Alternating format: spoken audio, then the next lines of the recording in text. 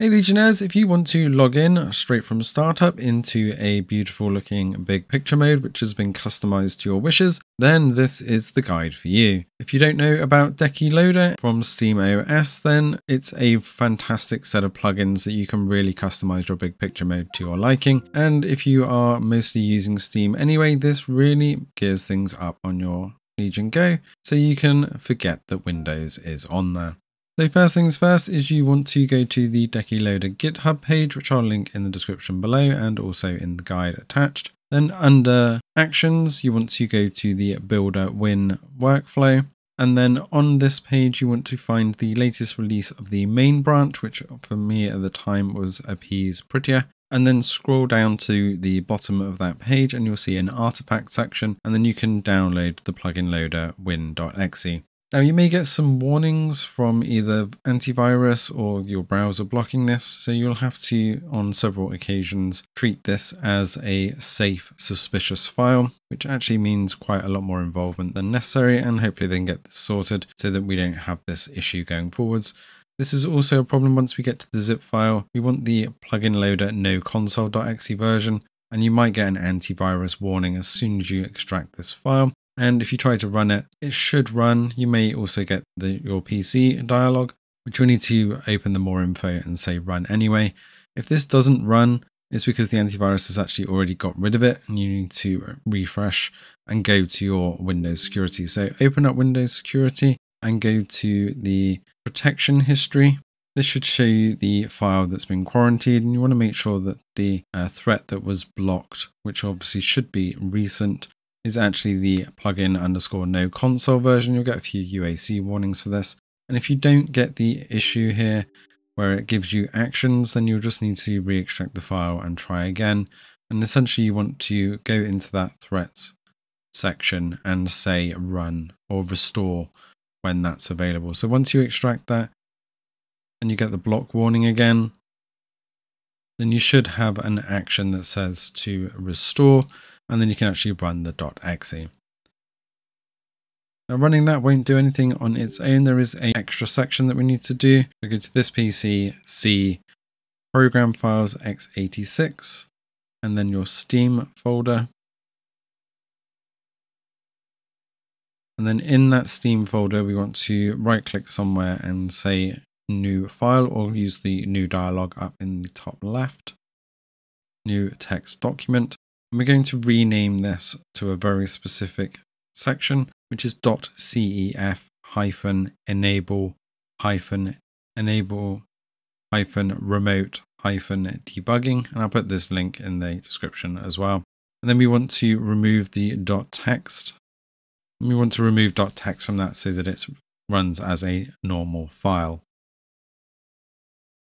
Once that's done, you can run the no plugin console version. And now when you go into Steam, you'll need to press Control and 2. So you'll need to bring up either the virtual full keyboard or have a separate keyboard plugged in for that. But Control 2 will bring up the side menu and you'll see that we've got this new plug icon down the bottom. This is the Decky plugin library. So on here, we want to press the marketplace type icon. As we've not got anything installed yet, you can use the settings in future to update the plugins or remove them but we're just going to go into the marketplace section. And there are absolutely tons of awesome plugins in here for you to choose from. Most of these are more relevant on the Steam Deck, but there's a few that work across the board. And the ones that we're mostly interested in here is the HLTB or the How Long to Beat plugin, which tells us how long it takes to beat games via standard playthroughs and other bits and pieces and gives us that extra information on the games pages. So we're just going to scroll down to hl HLTB and hit install and that will add that to our library. This did break recently, but they have fixed it again. So if you have got the latest version, that's all fully functional. And then the other one, which is the one that actually customizes the look and feel of big picture mode the most is CSS Loader. Now you can either search for this or scroll up to the top. You may have seen it earlier. We want CSS Loader from Deck Themes. Again, just hit install on this and that will install it on the side. Then we want to press Control 2 to open that side menu again and we'll see CSS Loader in the right hand side. Then in that CSS Loader menu, we want to hit the download kind of icon in the top right. And this is where you'll see all of the themes and extra plugins that are available for CSS Loader. Now I use the obsidian theme, which is what turns everything that nice black and transparent effect. And then the other one is switch like home. So if you want the same desktop as you saw me running at the very beginning, then these are the two plugins that you'll want and you'll have to enable these in CSS Loader as well. But there are absolutely tons of extras in here that you can do to really change the look and feel of both the game pages, the home screen, the way the library works. So you can spend a lot of time in here, but I'm just wanting to show you what I was running here. And then with those two installed in the CSS Loader menu, you just need to enable those and you can even create profiles so that you can switch between different versions on a whim. But now you'll see that I have that Obsidian and switch like home screen and everything looks fantastic. If you reboot your PC, that plugin is no longer active. So to make this run on startup and also have Steam boot up on startup, we've just got a couple of extra options. So I'm just going to create a folder in a easier location for Decky Loader so that it's not in my download section. I don't accidentally delete it. Unfortunately, copying this doesn't doesn't keep the restore from the threat originally. So you will have the Windows pop up of Trojan again. So you'll need to go and restore this again just so that it stays in that section. Then on the startup front, we want to go to start up apps and just search for this from the Windows menu. And in here, we want to just get rid of a few things that are going to slow things down on startup. So I don't use Teams or OneDrive. So we can turn those off and anything else in here that you don't think that you need on very first startup to just make it a little bit quicker. You want to make sure that Steam is in here as a startup program. If it isn't, then in your Steam settings menu, you want to go to interface and then there is an option there to run Steam when my computer starts. And then you also want to enable big picture mode on load as well. Then you want to search for something called task scheduler. And this will open up the task scheduler. And on the right hand side, you want to say create basic task. Just give it a name for you to recognize. I'm going to call mine Decky Start. And then hit next.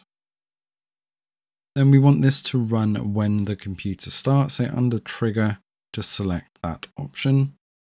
Then under action, we do want it to start a program. So keep that one selected and press next. And then on the program slash script section, we want to browse to our location of that plugin loader underscore no console exe and hit next. And then we also want to tick the box down the bottom here of open the properties dialog when I press finish because we need to change some of the properties of that immediately. If you don't tick that, then you'll have to go and find it in your task library and go to properties. But once we're in here under general, we want to run this whether the user is logged on or not. And you can just check that the trigger is set here at system startup. Under conditions, we also want to untick the start the task only if the computer is on AC or power. Otherwise, when you're on battery, this won't run. And then under that general section, we also want to click the do not store password. The task will only have access to local computer resources as well. Otherwise, you will have to specify an admin password for this to run under, and it's not needed. So just make sure that that's set. And now when you restart, that task will run, even if you haven't quite logged in yet. So while you're sat on that login screen, it will run in the background. And then as soon as you log in, it should open it up to big picture mode with your nice new fancy layout. Let us know in the comments below what plugins you're using, and if you found this useful, then please give us a thumbs up. Thanks for watching, and see you in the next one.